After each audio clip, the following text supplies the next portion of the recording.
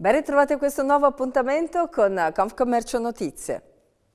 Sono molto attesi gli incentivi auto 2024 annunciati dal governo all'inizio dello scorso febbraio, incentivi che potrebbero essere disponibili prima dell'estate. Nel frattempo frena il mercato vicentino dell'auto. Secondo i dati elaborati da UNRAE Confcommercio, l'Unione Nazionale dei rappresentanti autoveicoli esteri, il primo trimestre del 2024 si è chiuso infatti in provincia con il segno meno per le nuove immatricolazioni di vetture. In controtendenza rispetto agli ottimi risultati registrati nel 2023. Sentiamo nel servizio di Chiara Beato cosa ha detto il presidente dell'Associazione Provinciale Concessionario Ufficiale Autoveicoli di Confcommercio Vicenza, Vittorino Bisson. Primo trimestre purtroppo in calo, nei primi tre mesi a Vicenza Settore auto in stallo è la prima battuta d'arresto dopo mesi di crescita. L'attesa dell'ecobonus frena le immatricolazioni. Chi aveva intenzione di fare l'acquisto delle quattro ruote sta tergiversando. 400 macchine circa immatricolate in meno, pari al 7,2% di diminuzione.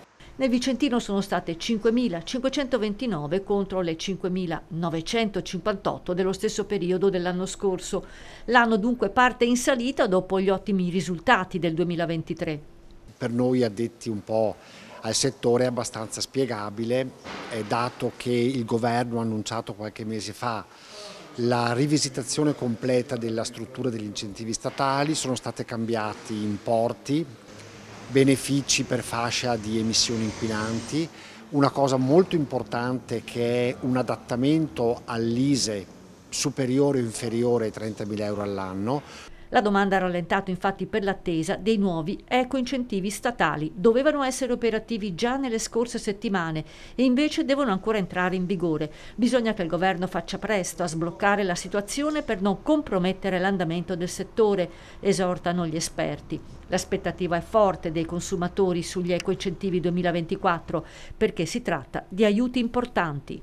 Pensate che oggi acquistando un'auto elettrica e rottamando una vettura Euro 1 o Euro 2 si possono ottenere fino a 13.500 euro di incentivi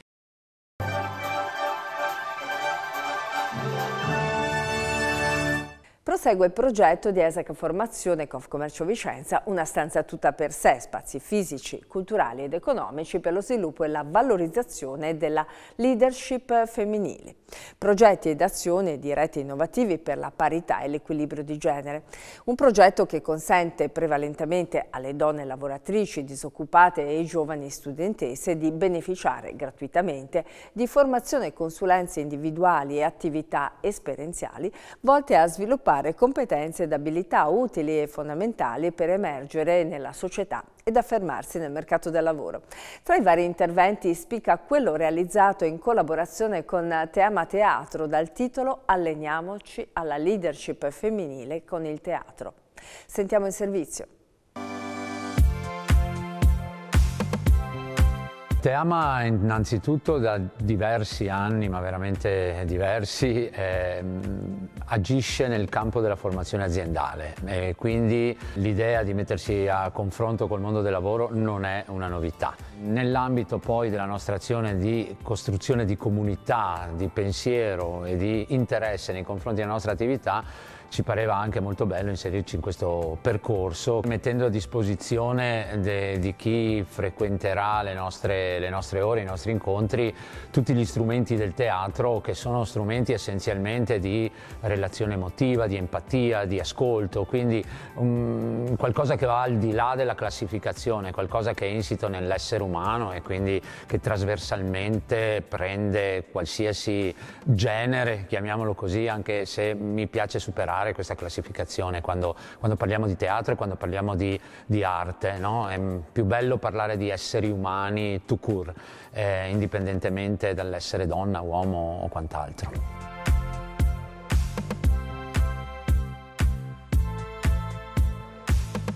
Allenarci alla leadership eh, dal nostro punto di vista significa eh, empatizzare con chi hai davanti, saper ascoltare, saper rielaborare le informazioni per renderli efficaci, eh, cose che nel teatro ci sono, nel teatro e negli strumenti del teatro ci sono. Quando si parla di emozioni, quando si parla di ascolto, il teatro è la strada maestra, il teatro è eh, l'arte che nel tempo ha dato modo all'uomo di esprimere qualsiasi tipo tipo di emozione e di rendere questa emozione visibile, palpabile e trasmissibile.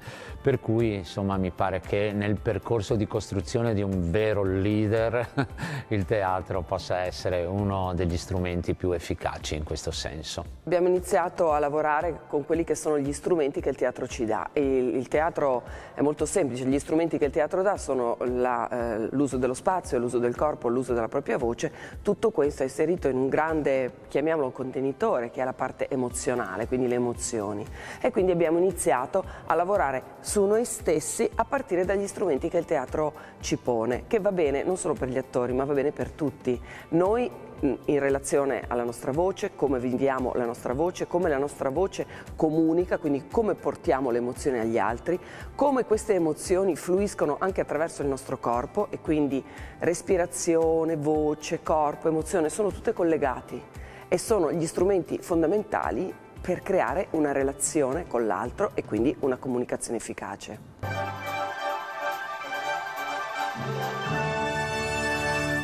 A Vicenza, in occasione della giornata ecologica di domenica 21 aprile, in contraventi settembre, ci sarà la manifestazione Trastevere in arte.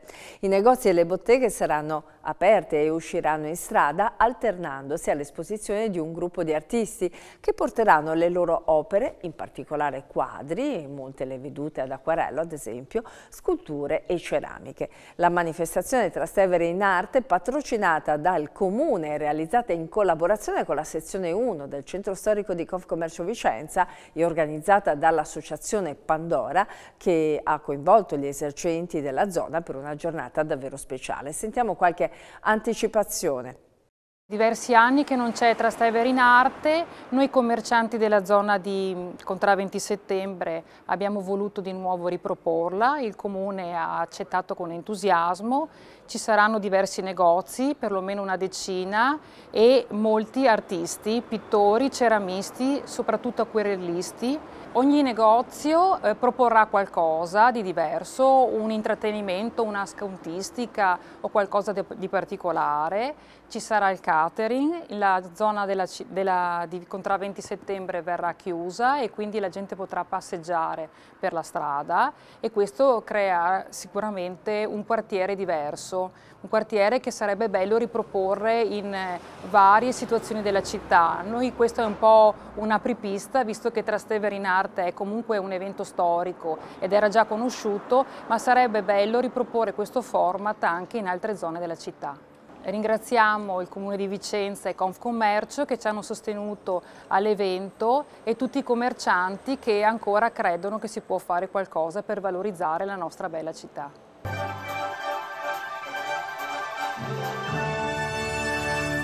Ed ora le altre proposte formative.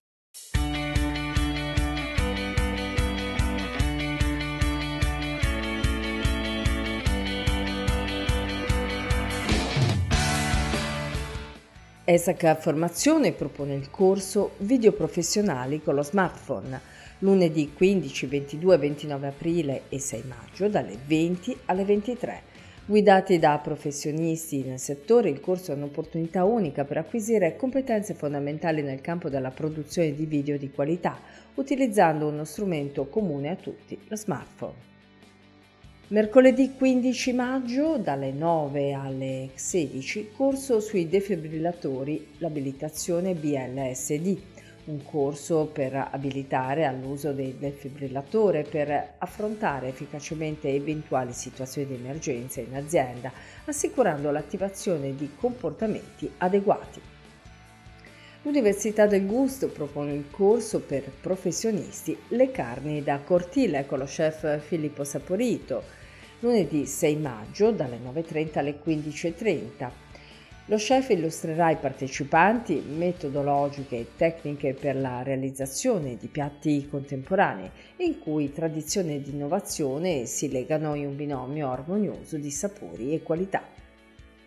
Infine corso dedicato al dessert al piatto, dolce non dolce, lunedì 13 maggio dalle 9.30 alle 15.30 con lo chef Diego Magro che accompagnerà i ristoratori nella preparazione e degustazione di dolci non dolci, ovvero dessert con basso apporto di zucchero e con utilizzo di vegetali e abbinamenti come polenta e latte. Ed ora l'agenda.